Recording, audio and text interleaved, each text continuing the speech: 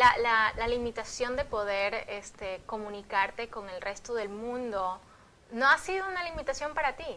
Tú lo haces. Cuéntanos cómo, cómo lo haces. Bueno, con mucho esfuerzo, primero porque vivo en Ciudad de La Habana.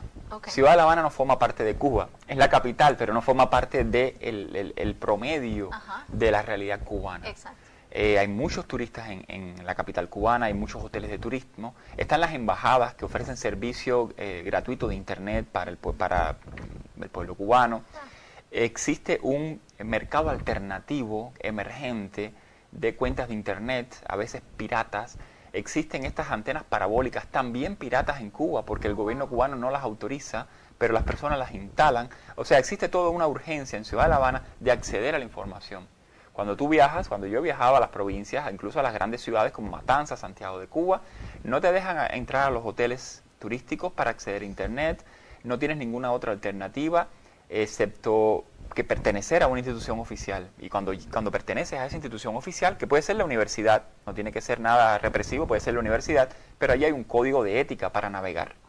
El código de ética te obliga a, si tú eres un bioquímico, como es mi caso, solamente acceder páginas que tengan que ver con el contenido científico de tu interés o de tus estudios. Wow. Por lo tanto, un interés cultural en saber qué emisoras de, de televisión hay en Estados Unidos o en Washington, D.C., no puedes acceder a esas páginas porque eh, o están bloqueadas o te pueden traer un problema, un, un problema de conflicto ético con el contrato que tú firmas. O sea, comienza un mecanismo kafkiano, ¿no? De control y represión, que básicamente no es que a ellos, le- no creo que a los, a los oficiales les preocupe tanto eh, que la gente crea en la doctrina oficial, sino que eh, limitar el libre flujo de información.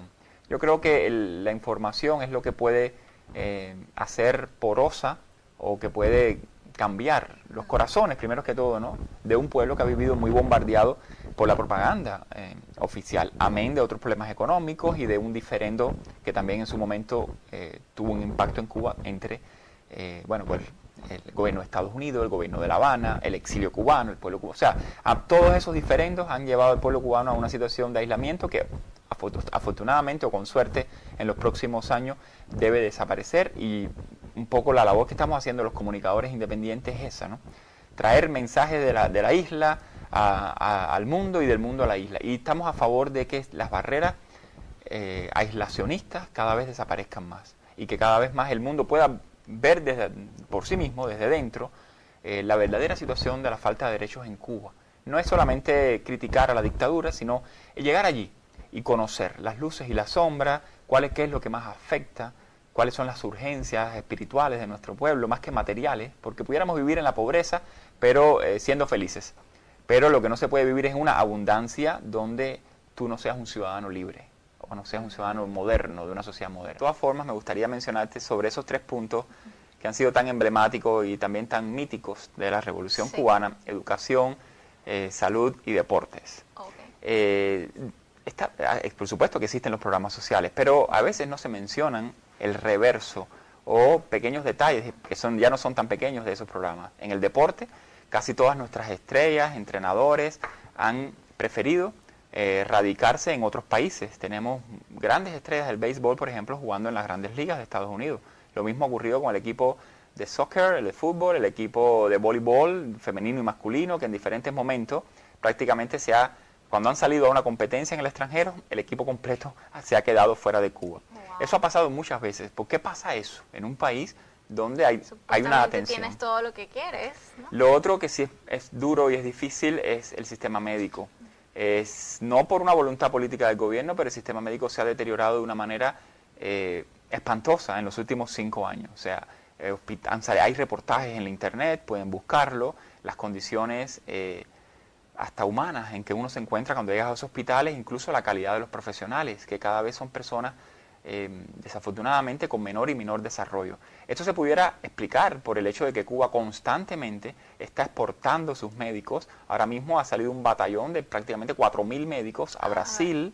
En Venezuela hay miles de médicos, en Nicaragua, todos estos países de la Alianza Bolivariana de las Américas, como se llama, pero también hasta, hasta en Pakistán, después de un, de un famoso y terrible terremoto que hubo, Cuba mandó cientos de médicos. O sea, eh, el gobierno exporta a los médicos a cambio, por supuesto, de otros eh, dividendos, incluido dinero, y la calidad de los profesionales que tenemos en Cuba ha bajado muchísimo y eso está creando una, situación de incomodidad incluso en el pueblo.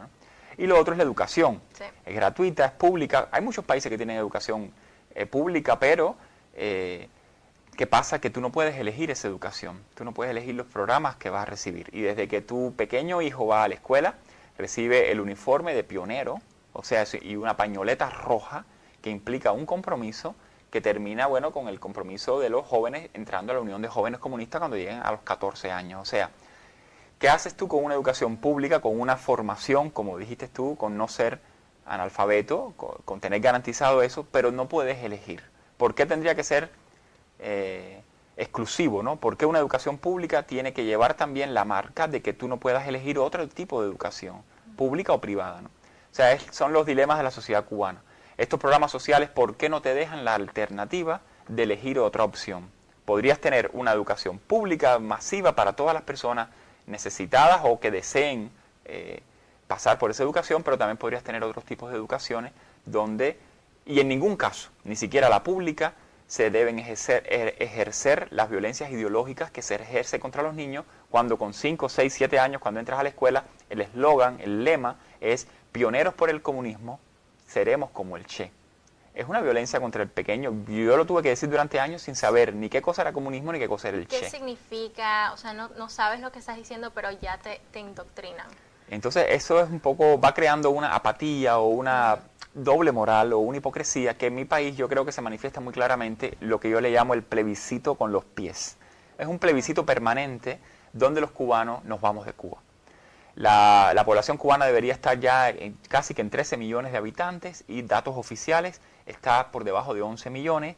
La fuerza laboral eh, está desapareciendo poco a poco e incluso el gobierno ha tenido que aumentar la edad de retiro hasta los 65 años para poder tener fuerza laboral dentro del territorio porque muchas personas, claro, por un motivo económico, pero también por esta asfixia ideológica, política, pues prefieren ir a trabajar a cualquier otro lugar a veces incluso en condiciones muy duras, pero para tener una independencia, yo diría, de conciencia.